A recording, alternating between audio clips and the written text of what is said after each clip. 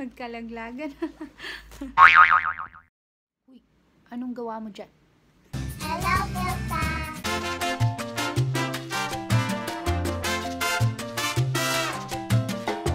Hello everyone! This is Jen from Hello Philtai at andito na naman po tayo sa ating Chini Channel. Today, ang isi-share ko po ay tungkol sa ayuda ng Taiwan. Ano ba itong Xiaofei Jen na to? Panuorin muna natin ang video na to. Yan. So, yan. Nakikita nyo po, binubuksan po natin ang ating ah, natanggap na Xiaofei Gen. Itong ayuda na to or yung binigay ng government namin, ibang-iba po to. Ibang-iba talaga sa ayuda sa Pilipinas. Kasi yung nasa loob po ng uh, Xiaofei Gen na yan or ayuda na yan ay 3,000 NT pero hindi po siya pera. Ang sa loob po niya ay coupons na may halagang 100, 200, and 500. Yan. So, um, ano po ba yung pwedeng gamitan dyan? Lahat naman pwede, pero yung ibang stores nung, nung una, hindi pa nila nare-receive or hindi nila nire-receive ang ganito kasi nahihirapan din po silang magpapalit. Yan. Yan po yan. And, take note, ayan pong ayuda na yan, hindi, kahit 3,000 po yan, binili po namin yan. Ibig sabihin, para makuha namin ang 3,000 NT na coupon na yan, dapat naming uh, bayaran ng 1,000 NT. So, ibig sabihin, ang nakuha lang namin po ay 2,000 NT. So, isipin nyo, halimbawa yung family namin, apat kami bibigyan. So, sa apat namin, magbibigay pa kami ng 4,000 sa government. Biruin nyo yun, di ba? Kasi kami, magbabayad pa kami ng ayuda namin. Marami din yung balita na may gumagawa ng peke or pinipeke ang coupon para lang magamit sa iba't ibang paraan. So, that's not nice. Anyways guys, yung pangalawang ayuda po na natanggap ko dito sa Taiwan ay tungkol naman sa mga professional or businessmen. Lalong-lalo na yung mga um, naapektuhan talaga ng uh, tinatawag nating pandemic or COVID-19. So, we have one month na parang um, financial assistance. Pero, kailangan mong mag-apply.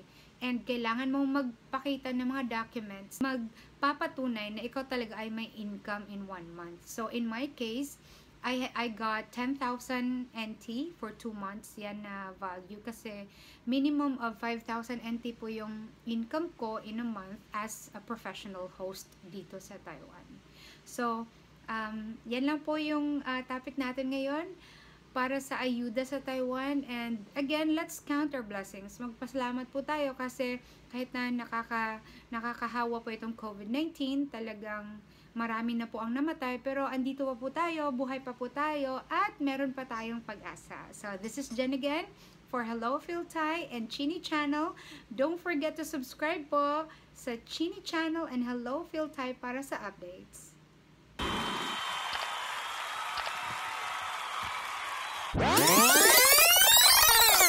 Maraming maraming salamat po kay Miss uh, Liza Jang na nagbigay po ng uh, yung pocket.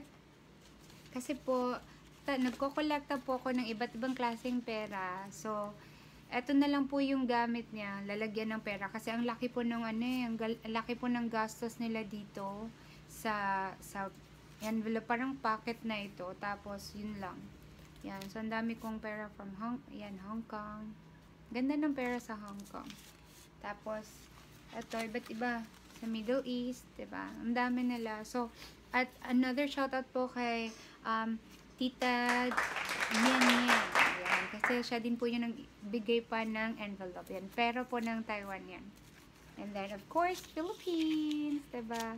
Philippines. Meron pa akong 1,000. Yan. 1,000 sa Philippines. And then, yan. Ito. Yan. US dollar, of course. Tapos, ganda ng pera. Gusto ko yung pera ng uh, Australia, yung, yung Hong Kong, and yan, from Korea. Thank you sa sa nagbigay yung student ko dati. And then, money from Canada, when I went to Canada. Yan. So, I save, I save many of those money, you know. Yan. Tapos ito, China, renminbi. Yes. And then, iba't ibang klaseng pera.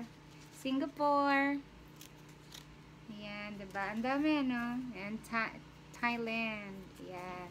So, thank you sa lahat ng tao na ah, nagbigay para mabuo ko po ito. Pero kulang pa yan. Kung meron pa po kayo, you can send it to me. Thank you.